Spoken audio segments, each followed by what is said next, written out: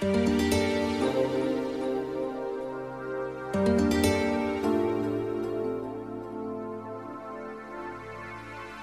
you